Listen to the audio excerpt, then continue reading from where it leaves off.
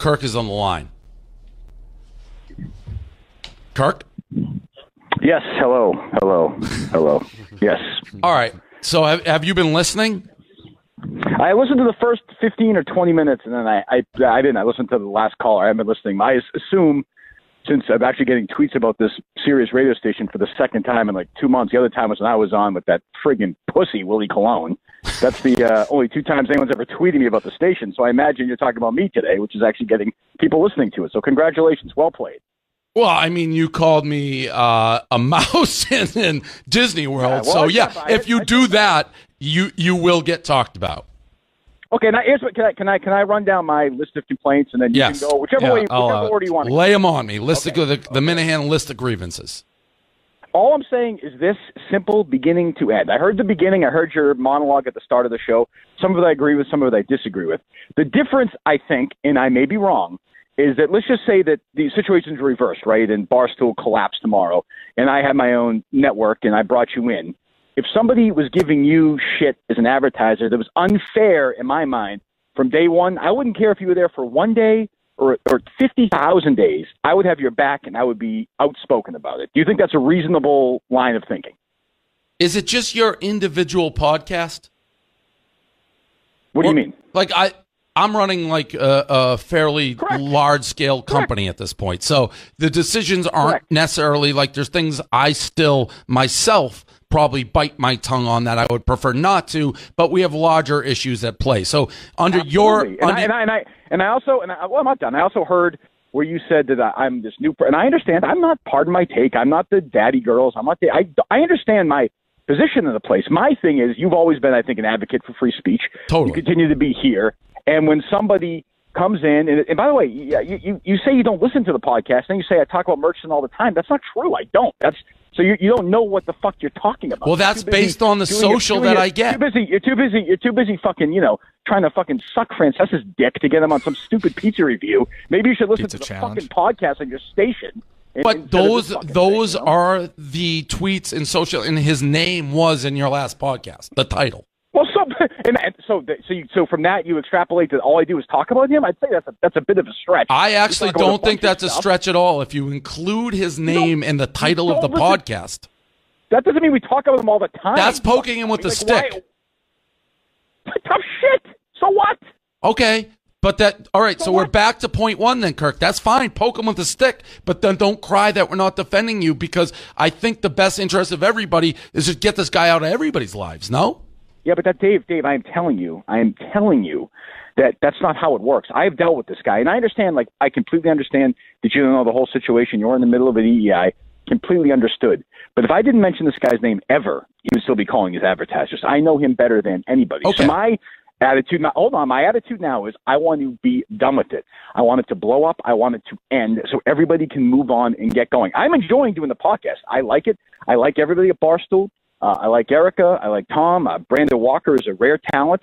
I like everybody there. Everybody, wonderful, sweet. great. I want everyone. I want everyone to do well. Thousand percent. I'm enjoying it. I like everybody. But until this man is out of my life individually, I have mental issues. I need to deal with it. This is how I'm dealing with it. I appreciate that doesn't matter to you. I actually do appreciate that. But I'm giving it to you on my end. And I would like the guy who I technically work for to say, you know what, fuck this guy. And maybe I'm asking too much for that, but I'm just telling you on my end, that's where I'm coming from. Right. And my end is what I said earlier. In the slight disagreement we have, I, I like Mikey podcast. Right. Well, no, here, here, here's where it is. Mikey podcast came in and, and did Mm-hmm. say he when Jerry was let go, you talked about him a lot, and that's what created the Bonobos cancellation. I've been told by Erica that this guy doesn't want to talk about it anymore. So I and I know what you're saying. You have a far greater history with him than I do. The only thing I'm saying, and maybe I, my perception would change, is from where I sit, we haven't like when you say want all to go away, it's never going to go away as far as I understand it. If he's being talked about, we haven't let well, it Dave, breathe Dave, since so- you've so- been here. So, well, well, that's not true. I mean, I did a month month worth of shows before Jerry was let go. I never mentioned it.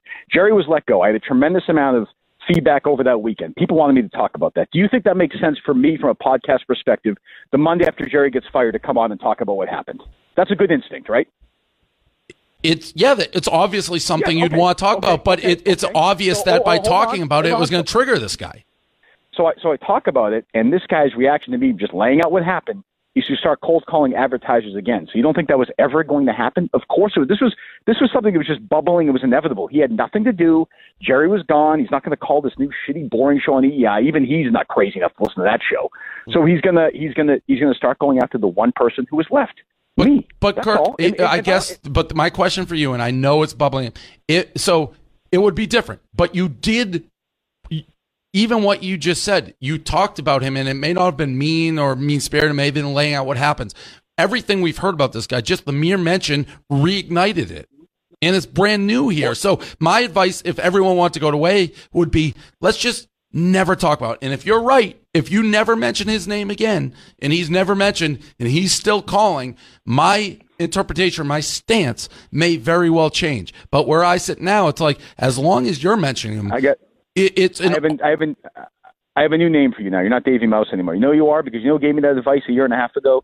Joe Zarbano. You're Oh, Davey get outta Zarbano here with Zarbano. That's, that's Have I that's who told you are not-. You're poor all- man's no, Joe Zarbano. uh, that's who you are. poor man who Zarbano. you are. Man, all man's I've Joe said Zarbano. is every action He used to has say a to me, he used consequence. to say to me, I, I agree, Dave. I agree. And he said to me, you know what you do? Don't mention his name. Then he'll go away. And he doesn't. I'm, I'm, I mean, again, you know, I, I know what I sound like when I say this, but I think you have some understanding that I'm not some crazy conspiratorial guy. This guy, you know the specifics of the story. It's not like I'm making up some. This guy is going to do this, and he's going to keep doing it. If you're telling me that you think it's better for me to shut up, well, that's that's that's I think perfectly reasonable advice. And Uh, but I way, haven't. I haven't said that. Have I? I've actually saying said. it, but no, no, no, no, no. You know, you haven't. You haven't. Quite the opposite. But, but without, but you're saying it without saying it.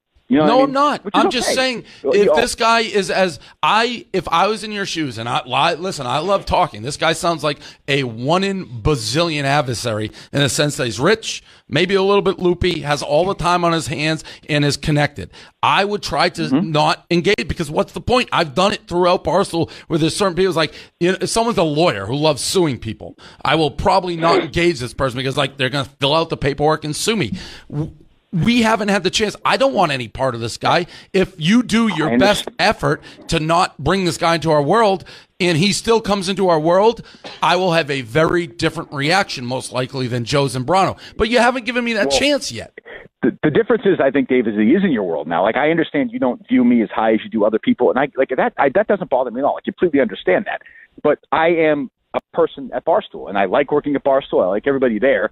So when he starts doing this, to me, he's doing it to. But you think you're Bill fucking Belichick or whatever you said earlier. I'm part of your team. Whether I'm friggin', I'm probably more like Aaron Hernandez, somebody else maybe, but I'm part of the team. So that's that's how I look at it, and I say you know, free speech and advocacy, it has to have its place, and you should be fighting for that. I don't care if I've been there for 50 years or five Well, minutes. then we, we totally disagree. Every situation is different. Yeah, that, that's an yeah. idealist I- world I- that you live in. And you said it yesterday. When I posed the hypothetical to you, you're like, I'd fire Kirk if I was Kirk in that situation. Well, you- well your, your, your, your scenario is $50 million. Right. $50 million, they would fire you. $50 million is a But- stupid scenario. but- the scenario, well, I mean, but that, but I mean, that is a ridiculous scenario. But but the, the fundamentals behind it are the. Are you willing to go down with the ship? I haven't talked to this guy at all. The feedback I have been given from who you've talked to, and this is from the high ups who you say, I don't know if you think that is both Paul, both Erica. This is somebody we want absolutely no part of. I, I would agree with that a thousand percent. So if you give an honest effort to, like, sometimes you got to bite your tongue because we want no part. Now, he if he still comes back, then then I'll deal with that when it happens. But we haven't. The, you ha- for what you're saying, which is this guy's going to attack. I, I, I, well, oh, you're, so you're telling me, you are telling me right now, you can you can guarantee this that in the first month of the show before Jerry was fired, Bob Murchison did not contact any advertiser. You're telling me that. You I have no idea. fact. no, Well, I have no idea. You don't even so so so so. Let's say he did because I didn't talk about it for the first month. Because my understanding is he did. Like I've been told he did. So let's By say who? he did. Does that change your Does that change your perspective? But you talked to you talked about him on the very first day, correct? Yeah, well, I laid out why. I'm okay, so you talked anymore. about him on the first day, and then you talked about him yeah, again. but, yeah, but I talked about him a month later. I didn't. I Yeah, but that's when the Bonobos thing happened. No, does that happen? Like uh, the Right, thing I is, mean, we should be on the same page. Like if this guy's as diabolical, Well, think- just don't talk about him. If he still comes at us when you're not talking about him, I'm not talking for a week. I'm talking for a, six months. You haven't mentioned his name. He's still calling. You may get a very different Dave Portnoy. That hasn't happened. We haven't given this a chance to go away. And I've said, if you want to talk about it, talk about. it. Just know the position you're putting us in. That's all. Well, I, well, according to you, you're not putting me in. Yeah, I'm not putting in any position. This is a Kirk Minihane issue. Well, for right now, it is. He's not going after Barstool. He's going after you. Correct, but I think he will because of the way he is, and you're going to. I'm as always. I'm going to be the one who takes the shit for it. Where this guy is doing something that is fundamentally wrong. It's wrong. I agree with I mean, you. you said it's you wrong. said you said you agree with me 100 percent on this. I agree with you. It's wrong. Correct. So then, I, so so then, I think, like you said, I think I'm being idealistic because this has been my situation. I take it very personally, and you're removed from the situation. I think that's the big Absolutely. I think it was Absolutely. So- if this so was me on a so personal don't- level, when it was one person running Barstool, and and, and I would probably Right. treat I- it very differently. correct. You would be acting like I was. I know you well enough to know that you'd be acting the same way. I don't disagree with that. So then, what? You, I don't know what your issue is then. Well, my issue is you said we didn't like. I don't think you could realistically expect us to stop everything and, and, basically go after this that. guy right never, now. Never said that. Never said that. Never said that. I didn't say to stop anything. I don't want anything to stop. It's a huge ship, and I'm a very small part of it. I'm happy. I've said all along. I'm happy to do my thing, do my show, get out, and stay out of the way. And I'm, do. I if I two months have I ever asked you for one shred of promotion? No. Anybody? No, nothing. Nothing. I haven't asked for anything. Nothing. Not Right. a single so, so, thing. so, so, w- what are we so, so? So, why am I a mouse in Disneyland then? Well, I think you have become certainly as you as, as the company's been sold, you become more of a mascot than a, than you know. You're You sort think of a, I, a so? You cuddly, think I'm like a, a a cuddly mascot right now? yeah. There's a little bit of Kermit the Frog sort of Mickey Mouse aspect to it now. Where you kind of you kind of dance and put on the suit, but that's listen. In what you- you world? How am I the? I'm the guy that nobody wants to touch. Oh, who doesn't want to tell? you? You're hanging out with friggin' you know Soledad O'Brien and Paris Hilton. and Soledad, and Soledad going to O'Brien these- said I was a going- vile going- person. She literally going- called me vile. going- She called you that. That's your events. example. You're- Soledad O'Brien called me vile. these events, you She- become, and now you're now you're the She guy. called me vile. That example you just used blew up your argument. and You, the first and- name and you said was someone who called me vile, and the worst thing she had to do with her career. You're, It's like you're the guy who's Parcells now guy. like, yeah, you know, free, yeah, free speech. Yeah, so what? Like, keep your mouth shut, Minihane. Yeah, that's the way we do it at Barstool. Keep Hold your on. mouth shut. Let me let me make it. something very That's- clear. that's- and that's I've kind said of- this. kind of the attitude. I've said this from day one. I am free speech. I love free speech. I love my wallet more. I've never confused that. Yeah, oh, fine. I understand. I don't. Well, then, then then keep going after this guy. But that's when we're going to end up in the situation we're going to be ending up in.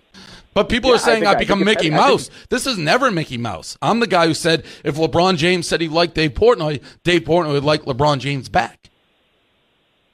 Okay, so you've always been Mickey Mouse. You're saying. No, I've always been do what's Okay. best for Barstool. Right, and I and I appreciate that on your end. I don't have an issue with that. My thing is, I am not. You know, I think you're asking me without asking me. You're trying to be like a parent. You're asking without asking me to stop doing this, and I'm telling you, I personally want resolution, and I know if I stop talking about it, it won't be resolution. I'm going to hear, oh, you know, he's been bothering this guy, he's been bothering that guy. How is I that? that in my life. I- but but Go ahead, go if ahead. that gets to that point, then it's a different ballgame. You haven't give. You're just saying, trust me. If I stop talking about him, he's Well, gonna. Dave, he no- won't stop. you, nobody knows more about this than me. Nobody. But I, you, mean, I am. you, I, you're not giving me the chance to see. I'm, you're just saying, trust me. If it doesn't matter what I do, he's still going to come at us. I well, that's a fact. I mean, that's that's. Well, a well, fact. well, by the way, it's not like. Let's ahead. see that fact. So, so that's what I'm saying. You're saying not. Don't talk about. it. No, I'm not. If you want to talk about, if you You- feel you compelled, you if you want, no, if you want to feel compelled to talk about him, eh, he's going to respond clearly. And whether if that starts bleeding into Barstool's business, it's going to be a hard decision for us. You know that. You're putting me in that position. No, I don't think it's a hard decision. No, I think you guys will let me go, and I think that's. And by the way, like you know me, I that's I understand business as well. That's the way it goes. I mean, that's that's life. But you also say you want a resolution to it, yet, like, you won't give the opportunity for the Barstool people to see. You know, if I said to Eric on the phone, I said, if he doesn't talk about him, this guy's coming after it, I would most likely, you could bring Erica in here. I basically said, if that happened, my personality, I'd be more willing to flush all the advertising down and figure out a different way to do it. But you haven't stopped talking about him.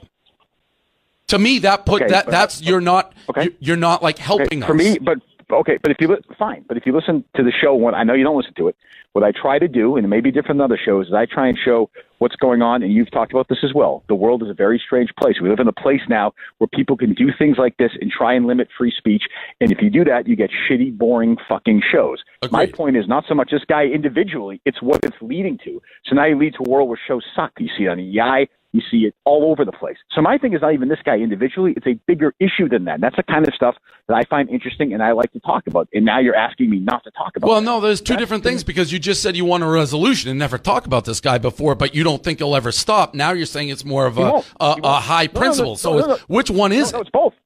Well, it's also part of the podcast. I find it to be compelling. You're also what I'm saying is you're asking me to take away a part of the podcast that I find compelling. Okay, well, that's very different well. than you wanting a resolution. That's you talking about him nonstop. No, no, no. I'm saying in addition to. I think there's. I think it's multifaceted. It's also But for me individually. this sounds to, to me, a, this portion of the conversation sounds to me like you enjoy talking about him because it's interesting. That's putting us in a potentially tough That's spot, which you know you're putting us in.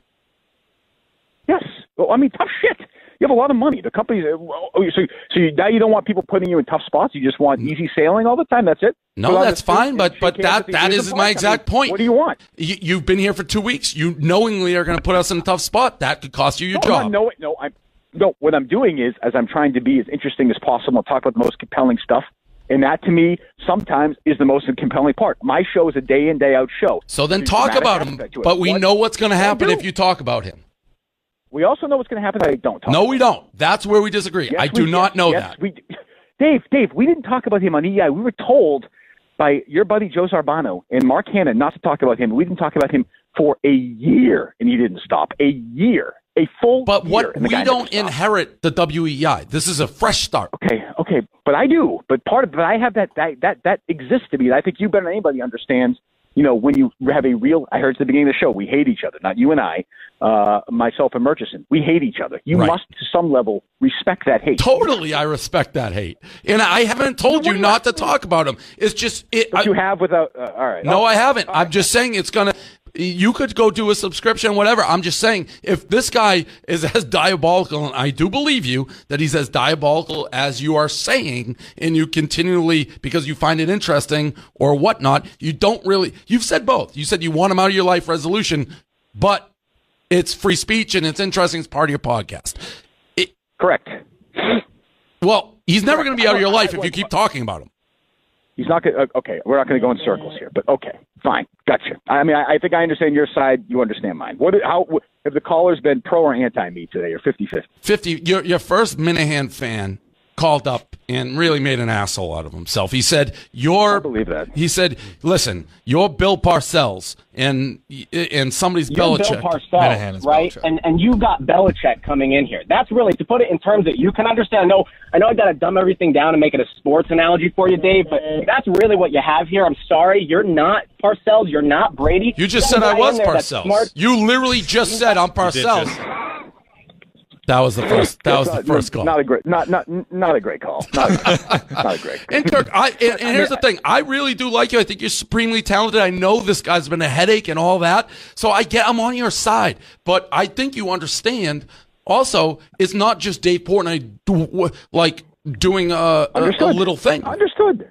So that's all. Understood. I I I I understand that. I And, and I that, but there are gonna honestly, times when I'm get- when not you- on, subtly when get telling. I'm not subtly telling you not to talk about him. It I your know. Choice. Uh, Tom, Tommy, do you think that? It seems believe- like the resolution here is that if Kirk is going to keep talking about him, he won't have the backing of Barstool. But if he stops talking about him for a few months and this guy continues, then Barstool will Well, come to it. And I would say this. I would add this. Well, Thank you for recapping the conversation. Well, well, no, you asked. Well, you asked me. ba- based on everything, mistake. That my- it's not. It's not unile- It's not uniform that we won't have your back. I don't know what this guy does. I mean, you've told me. I I have to see it unfold, but it sounds like from what you're saying, it's going to unfold in a way that's going to put myself, Erica, in very uncomfortable conversations. That the only chance to avoid it is never mention it.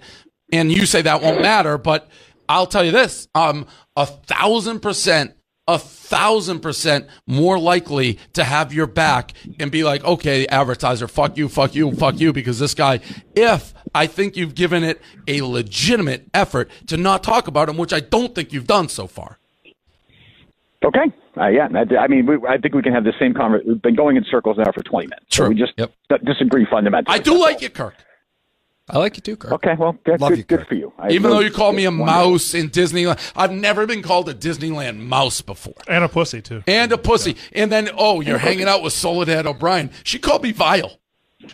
That wasn't like best you didn't, weigh in, friends. you, didn't, you, you, you didn't weigh in on this during the month that you were gone. Did you think Willie Colon was a pussy during that whole thing? I need, I, I, He has no idea what you're talking about. No, I know they got in a fight, but I don't know yes. enough to. No, I, I Good, don't that's a really yes. know.